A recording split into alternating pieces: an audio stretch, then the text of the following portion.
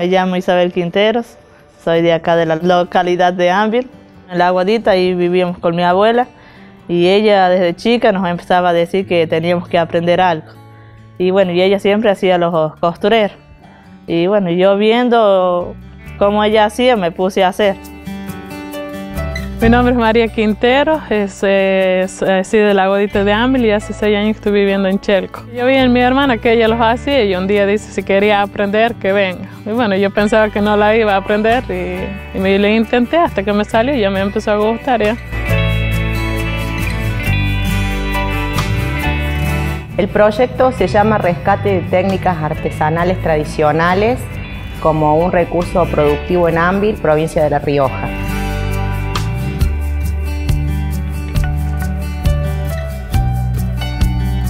Este es un proyecto de extensión de la Secretaría de Políticas Universitarias y la idea es trabajar en conjunto con algunas organizaciones locales de la provincia y del, y departamento. Trabajamos en conjunto con el Mercado Artesanal de la provincia de La Rioja y trabajamos también en conjunto con el municipio de Ortiz de Ocampo.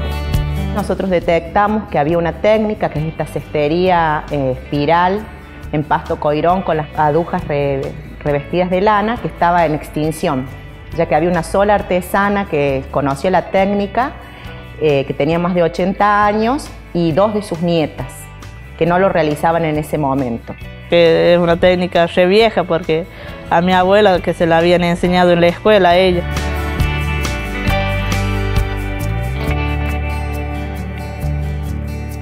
Nosotros trabajamos también con la sede Catuna, entonces nuestro primer viaje con la gente de trabajo social de la sede eh, encontramos eh, bastante gente interesada. Con un grupo de estudiantes eh, tuvimos un trabajo de campo donde fuimos a la localidad de Ámbil a hacer entrevistas socioeconómicas y sociales. Al ser un lugar muy rural, a veces a las personas les cuesta trasladarse a otros lugares para poder desarrollar las actividades que ellos tienen. Dependen generalmente del trabajo del Estado y del trabajo propio que ellos realizan a través de las artesanías, del cuidado de ganados.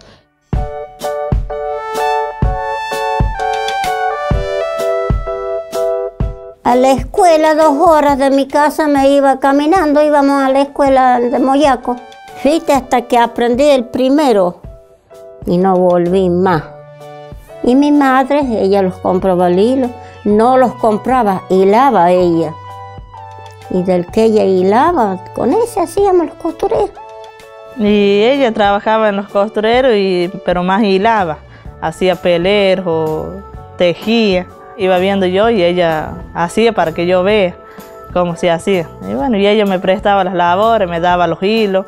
La técnica es con paja, con un pasto de la loma, en el cual se lo va enrollando en forma de espiral, dándole una labor o cualquier cualquier signo que le quieras hacer. Sí, lana compro, es lana comprada. A mí me gusta que aprendan y le enseño a cualquiera que quiera aprender. Siempre sabía enseñar, quería enseñar lo que ella sabía hacer cuando ella era joven. Y de chica, de 13, 14 años ya sabía hacer ya. Eh, tuve mi hijo a los 16 y con eso lo mantenía, le compraba los pañales, todo vendiendo los costureros. Y un tiempo que dejé de hacer entré a trabajar y no, no me dedicaba a eso. Y bueno, y después vino doña Paula a inscribir por el mercado artesanal y nos dijo que estábamos dispuestos a hacer las cosas para vender, que el mercado nos comprara. A partir del mes de julio de 2016 nosotros comenzamos a trabajar en el pueblo. La propuesta es hacer un trabajo de rescate de técnica con capacitaciones en diseño de nuevos productos, con capacitaciones en comercialización, determinación del precio justo, eh, diseño del puesto de venta. Me dio la oportunidad esa y bueno, ahora estamos con un grupo de chicas que están aprendiendo y están haciendo las cosas. Eh, ahora las escarapelas, estamos haciendo los costureros también, los medallones. Eh, bueno, del mercado artesanal les compran y bueno, de ahí particular, que siempre los encargan y los vendemos así. Y una experiencia que ya veníamos trabajando anteriormente es la venta al mercado artesanal de la provincia.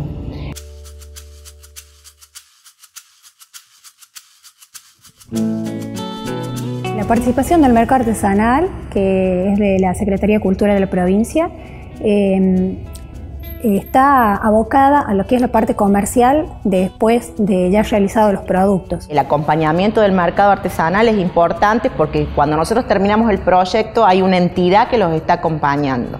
El artesano directamente puede llevarse en concreto ya la compra del producto, ¿no? Es un, es un aporte genuino que se hace en, en toda la provincia. Y otra cuestión estratégica es la cercanía de la sede Catuna, que nos permite que haya eh, gente cerca en territorio monitoreando, ayudando a la gente o eh, recabando nuevas necesidades. Nosotros tenemos que seguir yendo a trabajar con este grupo para mantener, para fortalecerlo, para apoyarlo. También vamos a trabajar toda la otra parte de la relación social que hay en este grupo de, de mujeres artesanas de la localidad de Ampil.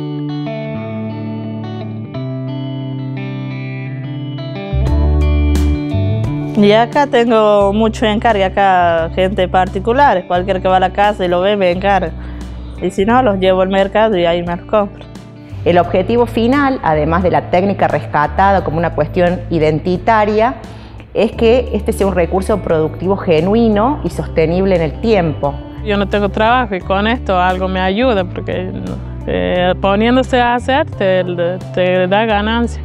Estos proyectos también eh, involucran no solamente a un artesano como individual, sino que después se pueden conformar como grupos, como cooperativas, grupos asociativos. Jamás pensé que otro, que otro quiera aprender, porque es muy raro, ¿viste? Que, que alguien le interese por una cosa tan de, de, antes, que ya no se hace, ya que poco le interesa ya.